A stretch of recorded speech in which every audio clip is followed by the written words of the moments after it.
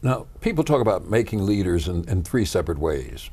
First, great people cause great events, or movements make leaders, or the confluence of unpredictable events creates leaders who are appropriate for the times. Does one of these fit you?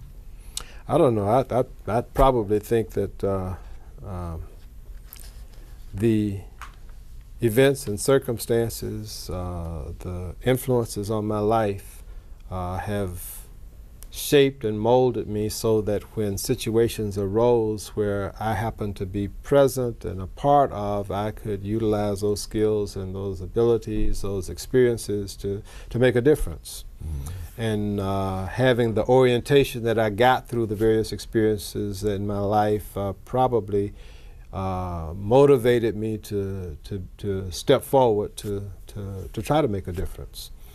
Um, you know, whether it was the Boy Scouts, the Sunday School, the, uh, the Order of the Arrow, uh, you know, I'm there trying to, to make a difference. And, and uh, you know, Dr. King sort of put that, put that, that nail in, in my head pretty, pretty strongly.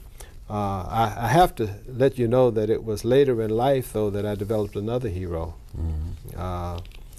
I'd heard of him during the movement days, never knew who he was. Uh, but it was Nelson Mandela. Yeah.